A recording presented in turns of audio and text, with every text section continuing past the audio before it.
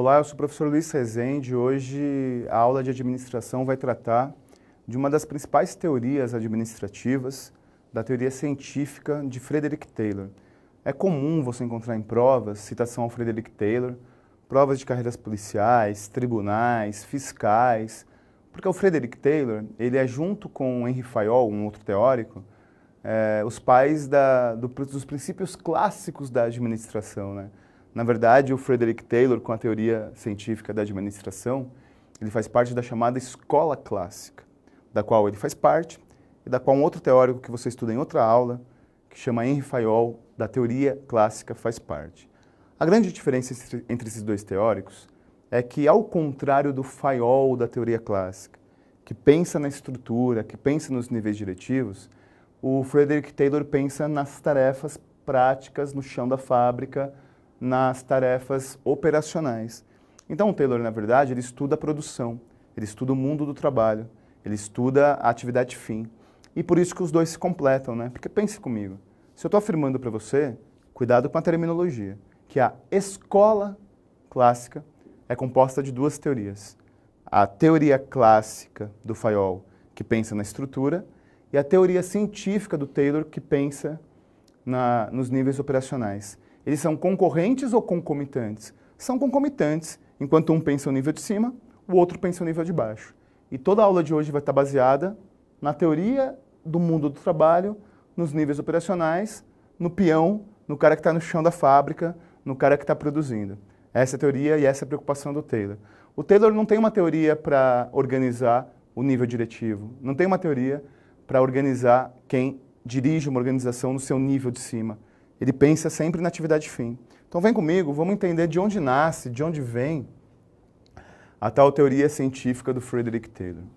O Taylor, ele começa a estudar o mundo do trabalho desde o início do século passado.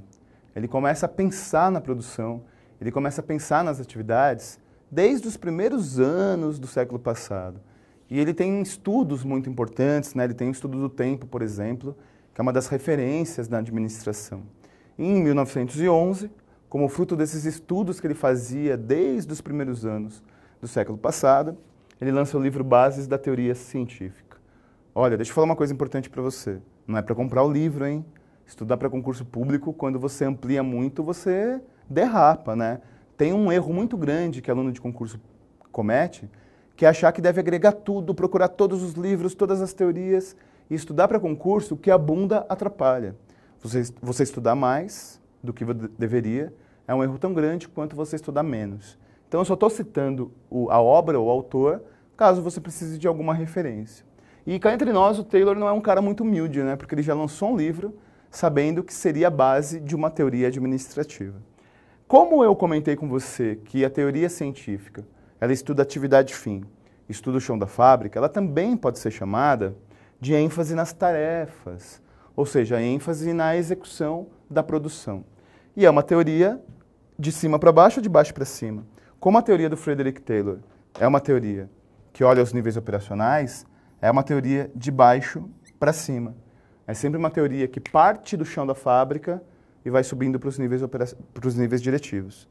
Olha, como eu comentei com você, o Frederick Taylor, ele, desde os anos 1900, desde os primeiros anos, ele estuda o mundo do trabalho e, basicamente, esses estudos que deram origem à teoria científica se dividem em dois momentos, dois períodos.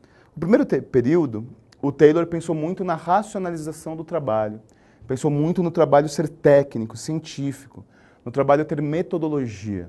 Então, a primeira preocupação dele foi essa, né? Racionalizar o trabalho dentro das empresas, dentro das fábricas, para que houvesse técnica e metodologia e padronização. Depois disso, ele teve um segundo momento, que na verdade é a grande obra do Taylor, que é o estudo do tempo. O Taylor ele tem um conceito interessante que é o seguinte: o ser humano tende à vadiagem. Você acha isso? Você acha que o ser humano tende à vadiagem?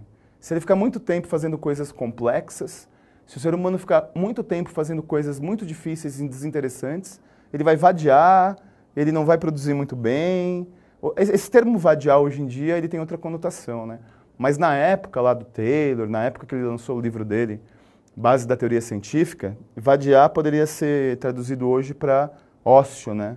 Então ele diz que o ser humano tende ao ócio, que o ser humano tende a produzir muito pouco e ficar é, na ociosidade se o trabalho dele é complexo e desinteressante. Essas são as duas bases para que depois ele lançasse a teoria científica sobre a base desse livro. E o Taylor ele desenvolve um conceito chamado organização racional do trabalho. Então vem comigo, vamos entender o que é esse tal conceito da organização racional do trabalho que o Taylor preconiza. É, em primeiro lugar, a organização racional do trabalho demanda análise do trabalho. O que, o que isso significa? Cada trabalho, desde que seja apertar o parafuso até dar aula, desde que seja montar um computador até montar uma máquina operatriz, ela precisa de método, precisa de técnica, precisa de regra pré-estabelecida. Então, a análise do trabalho, ela tem por objetivo buscar a melhor técnica, buscar a melhor metodologia para desenvolver alguma coisa. Tome cuidado, porque o Frederick Taylor, ele combate o empírico, ele defende a técnica. Isso é muito comum. Se você é, procurar questõezinhas da CESP-UNB, procurar questõezinhas da ESAF, da FCC, você vai encontrar esse conceito, né?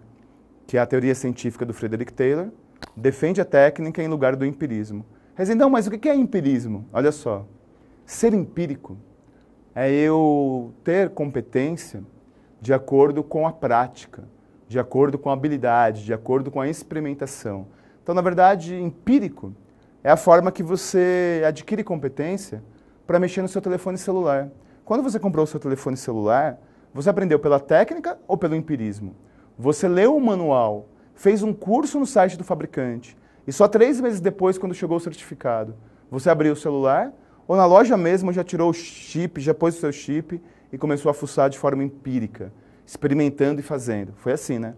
Então, na verdade, o Frederick Taylor, quando ele desenvolve a organização racional do trabalho, ele defende que a análise do trabalho leve a você ter técnica pré-estabelecida e o ser humano não opinar sobre o seu processo produtivo. O ser humano não opinar sobre aquilo que ele executa de forma empírica, porque já tem alguém que pensou a técnica para ele. Um outro conceito da organização racional do trabalho é o estudo do tempo.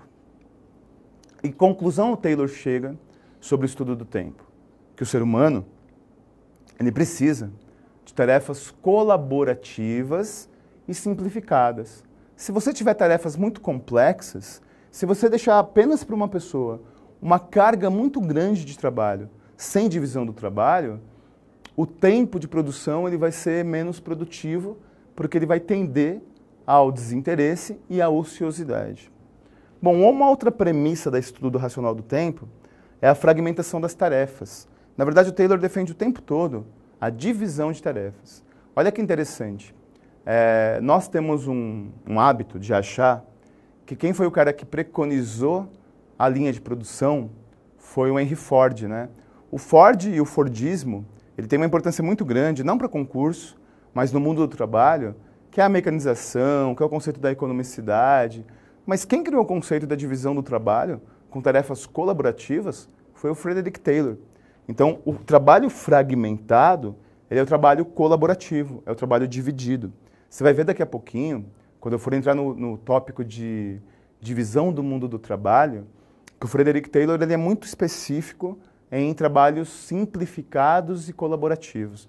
Na prática, ele defende que você monte um computador, né, atualizando para os dias de hoje, não uma pessoa montar o computador da primeira à última peça, e sim várias pessoas colocarem pe pequenas peças no computador, cada uma trabalhando só com aquela peça, e no final ter o computador montado por várias pessoas. Bom, e finalmente, o conceito da especialização. Como assim? Olha só.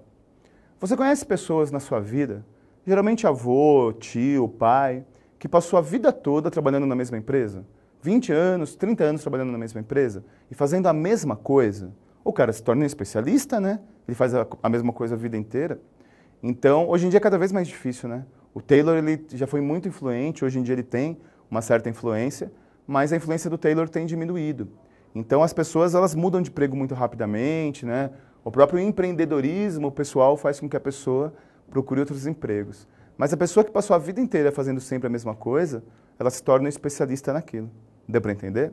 Então, se cair na tua prova a organização racional do tempo vinculada a Frederick Taylor, basicamente é a premissa da análise do, do trabalho, sempre procurando a melhor técnica, o estudo do tempo, sempre pensando em coisas simplificadas e não complexas, a fragmentação das tarefas na divisão do trabalho e aquele que tem uma, uma função específica se torna o especialista nisso, certo?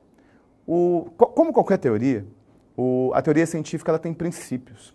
E os princípios da teoria científica, os princípios que norteiam toda a obra de Frederick Taylor, estão basicamente quatro. Vamos lá, vem comigo para entender quais são os princípios que regem a teoria científica da administração. Um primeiro princípio, um princípio importante, é o princípio do planejamento. E olha só, o que é o contrário do planejamento? Se eu planejei alguma coisa, eu não adapto. Se eu planejei alguma coisa, eu não faço de forma empírica. Ou seja, eu já tenho algo pré-estabelecido. Eu já tenho um manual para desenvolver o meu trabalho. Portanto, quando nós trabalhamos o princípio do planejamento, ele é baseado em você defender métodos técnicos, métodos pré-estabelecidos, manual para você poder desenvolver o seu trabalho, em detrimento do empírico, em detrimento do tácito, em, em detrimento de você aprender fazendo.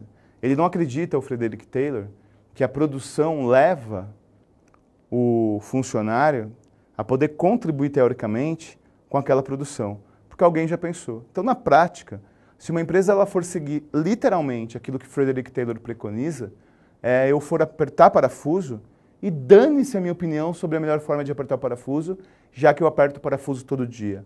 Alguém pensou por mim a melhor técnica de que eu aperte parafuso. Então, o princípio do planejamento é o princípio da técnica em detrimento do empírico. Bom, depois existe um outro princípio, que é o princípio do preparo no trabalho. Né? E esse princípio ele é baseado em que tudo deve ser racionalmente estabelecido quanto a custo, quanto a matéria-prima e quanto a melhor pessoa. Né? O Taylor defende que você escolha o funcionário que melhor se adapte para aquela função. Você escolhe o funcionário que melhor produza naquilo que foi pré-estabelecido. Esse é o princípio do preparo. Bom, depois o princípio do controle, né? O Taylor ele não nega a existência de níveis hierárquicos. O Taylor não nega, pelo contrário, o Taylor não nega a necessidade real que existe de você ter subordinação. Então, o princípio do controle é o princípio, por exemplo, de divisão muito clara sobre quem faz o quê. Sobre quem pensa a teoria técnica e quem executa na prática.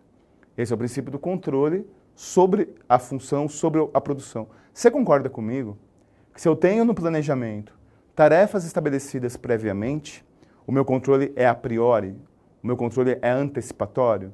Então eu te contrato para você apertar parafuso. Só que eu te dou um manual de como apertar parafuso.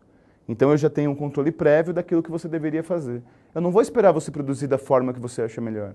Eu não vou esperar você produzir e apertar o parafuso de acordo com a tua história de vida. Não, isso é empírico. Na verdade, eu tenho controle prévio porque eu já te dei o um manual, o passo a passo do que fazer. Bom, e finalmente, o controle da execução. Na verdade, um dos princípios do Taylor é que se você tem tudo isso que eu expliquei para você, tem técnica pré-estabelecida, tem controle pré-estabelecido, tem racionalismo, você executa mais e você aproveita melhor o tempo então você gera maior produtividade. Esses princípios são os princípios que norteiam a teoria científica da administração. Bom, é, o Frederick Taylor, ele é o, o, o, teórico da divisão do trabalho, né? A divisão do trabalho tem um peso muito grande para o Taylor. Então vamos lá, vem comigo aqui para a gente desenvolver a questão dos princípios e dos conceitos, baseado em tudo isso que eu comentei com você, da divisão do trabalho. Como eu comentei anteriormente, o Frederick Taylor ele defende que o trabalho deve ser colaborativo e deve ser simplificado. Portanto, o conceito da divisão do trabalho, eles têm dois desdobramentos. Ele tem a divisão vertical e a divisão horizontal. Vamos começar pela mais simples, menos polêmica, que é a divisão horizontal. A divisão horizontal é a divisão de tarefas. Deixa eu dar um exemplo para vocês. Aqui no estúdio, nesse momento, tem três pessoas: eu, monitor e o cinegrafista. Imaginem que cada um de nós tenha que produzir um computador, da primeira à última peça. Então, ao final do mês, nós temos três computadores montados. Eu monto um computador inteiro, o cinegrafista monta um computador inteiro e o monitor monta um computador inteiro. O Taylor diz que isso está errado, diz que isso é complexo, diz que não tem trabalho colaborativo e, portanto, eu vou começar a me desinteressar.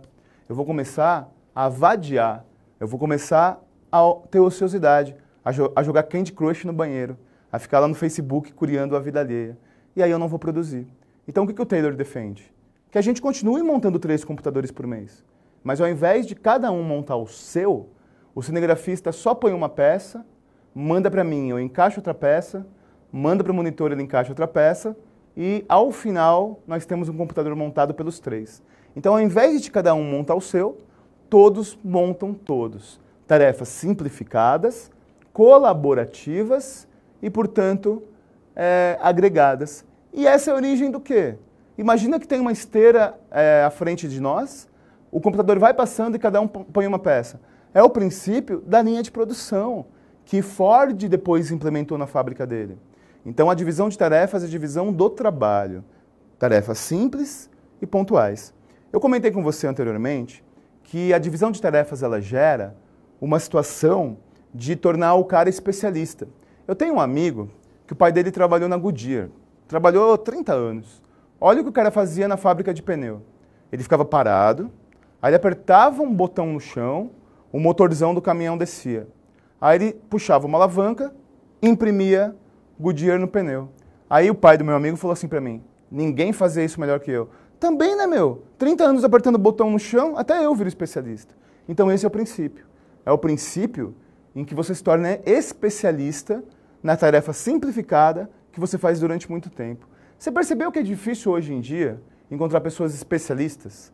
Hoje em dia a pessoa, ela migra de emprego para emprego, migra de função para função. Então o cara já foi office boy, já foi bancário, já foi técnico de informática, já foi office boy de novo, aí ele volta, sei lá. E, então ele faz mil coisas ao mesmo tempo e ele não é especialista, ele é generalista. Então a divisão do trabalho cria especialistas na área. Deu para entender? Essa divisão do trabalho não tem muita polêmica, porque cá entre nós, essa divisão do trabalho é a divisão que gera a linha de produção. A empresa ela não depende apenas de uma pessoa. A empresa ela pode repor rapidamente as pessoas de acordo com a necessidade. A polêmica e o que todo mundo malha o Taylor, o Taylor, o Frederick Taylor, ele cai muito em concurso, você vai perceber nas questões, mas ele é malhado, mas ele ainda contribui muito para o mundo do trabalho. E a principal crítica ao Frederick Taylor é o que eu vou dizer agora, é a divisão vertical do mundo do trabalho. Olha só, vem comigo. A divisão vertical do mundo do trabalho, ela é a divisão teórico e prática. Eu divido a teoria e a prática. É assim, ó. Os níveis diretivos pensam a teoria. Os níveis operacionais executam na prática. Quem pensa teoria não executa atividade fim. E quem executa não pensa a melhor forma de você trabalhar. Então isso é polêmico, porque em tese impede que o funcionário opine sobre aquilo que ele faz. Impede que o funcionário, de forma empírica, ele diga, olha, eu tenho uma melhor forma de apertar o parafuso. Não, você não tem melhor nada, meu chapa. Alguém já pensou por você. Então é engraçado pelo seguinte, eu estava conversando com o cinegrafista antes de começar a gravação, e ele comentou comigo, né? Ah, acho melhor fazer isso, acho melhor fazer aquilo. No meu trabalho de transmissão de evento, isso é melhor e tal. Ou seja, de forma empírica, de forma prática, ele vai percebendo como melhorar a própria atividade profissional dele.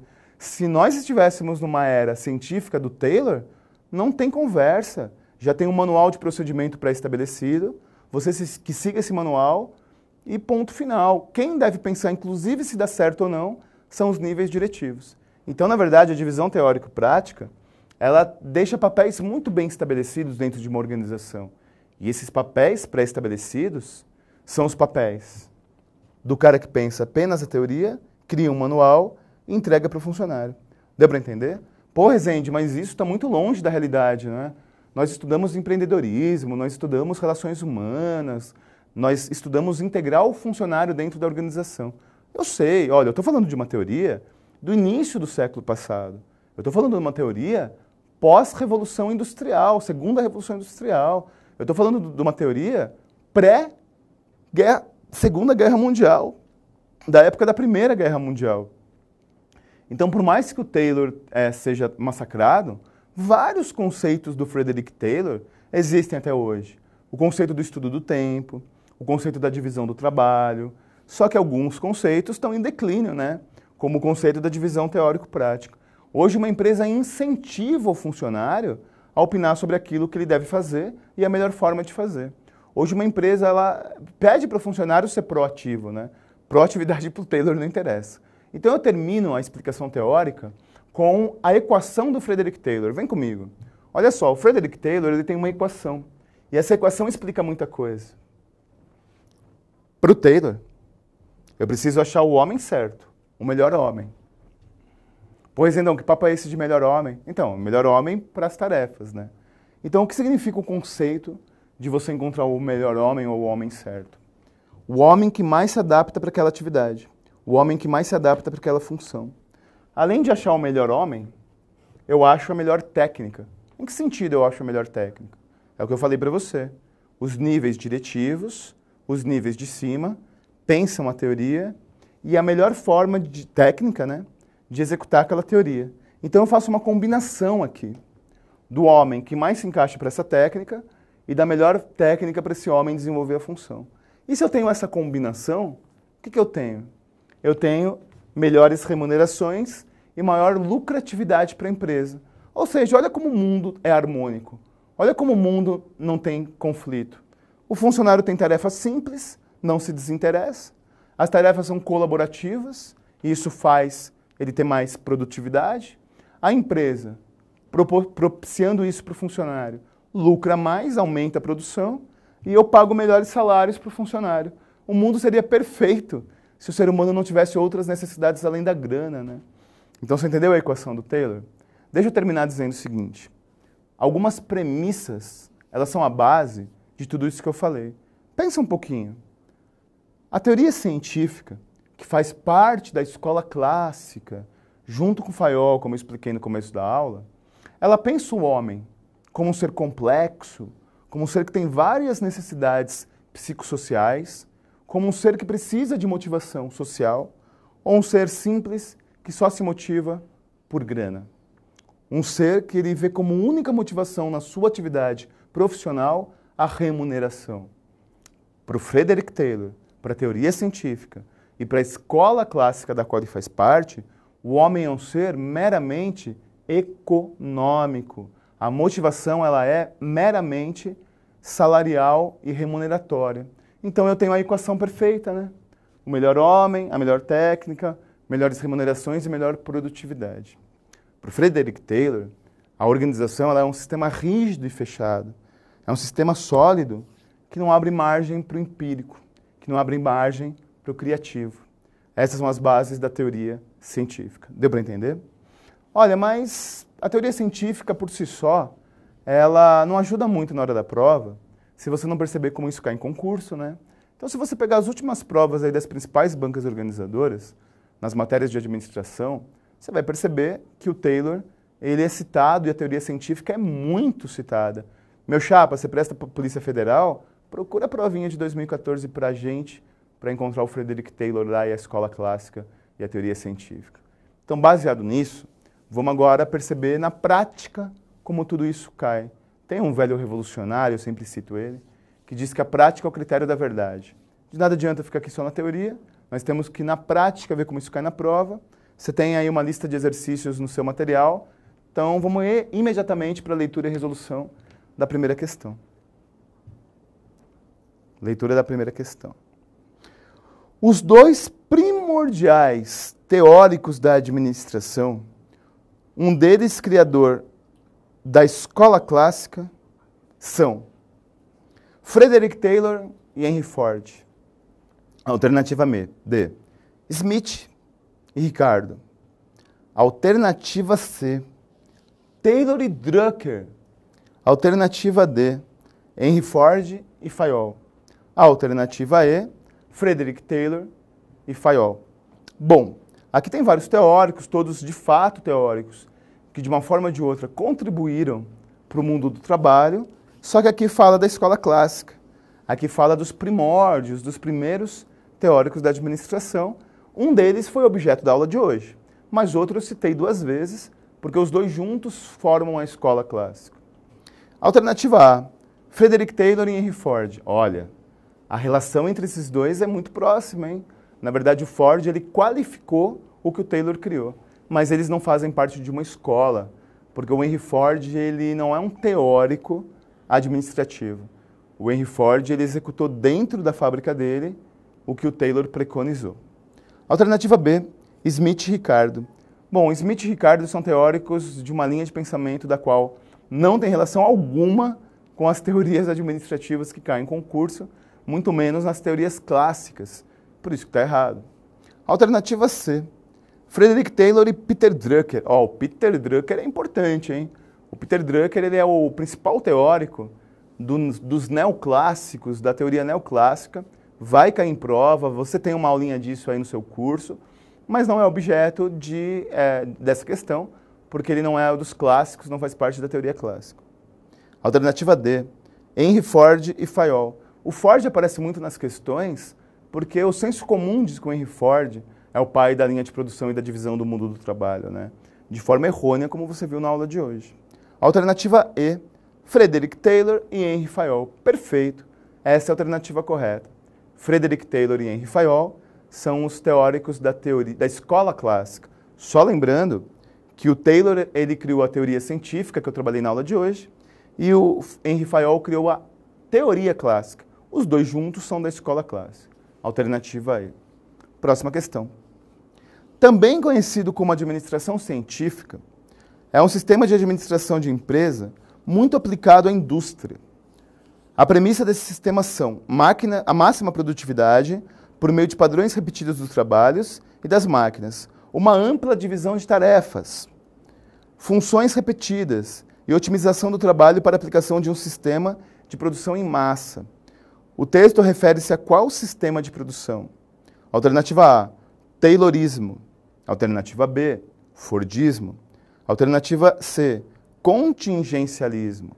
Alternativa D, neoestruturalismo. Alternativa E, neoclassicismo.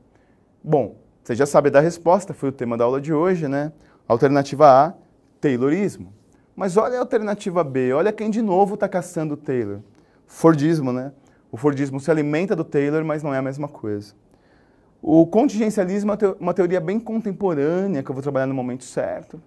É, estruturalismo não é muito abordado em prova, mas os neoclássicos são. Então, mesmo que tenha a ver com administração, não tem a ver com enunciado, né? A, a, essa questão alternativa A. Próxima questão, agora questõezinhas do tipo certo e errado, questões do tipo CESP-UNB. tipo não, né? Da CESP-UNB, tudo questão de prova anterior. Atualmente, não há mais espaço para utilização da teoria proposta por Taylor em nenhum dos seus aspectos. Olha, o Taylor ele contribuiu muito para o mundo do trabalho, contribuiu muito para a indústria, na divisão do trabalho, no estudo do tempo, na racionalização. E mesmo que existam teorias mais modernas, mesmo que existam teorias que pensem nas relações humanas, muita coisa do Taylor se aplica em qualquer lugar, no Alphacom, no serviço público, que é o princípio da divisão do trabalho, do estudo do tempo. Então está erradíssimo. Taylor ainda influencia e cai em concurso por conta disso, tanto o serviço público quanto a iniciativa privada. Questão errada, portanto. Próxima. De acordo com Taylor, o nível de eficiência do trabalho é estabelecido com base na capacidade social que este trabalhador apresenta, e não em sua capacidade de executar o trabalho corretamente no prazo estabelecido.